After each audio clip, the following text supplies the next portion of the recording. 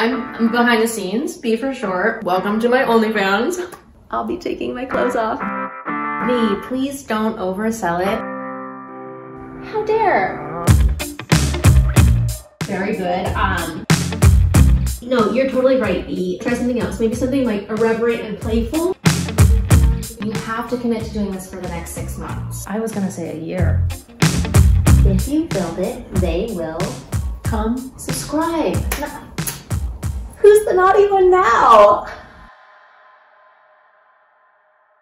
Yeah, said that they don't got a future, future like uh, it burns. So give him something worse to kill his head with, somehow.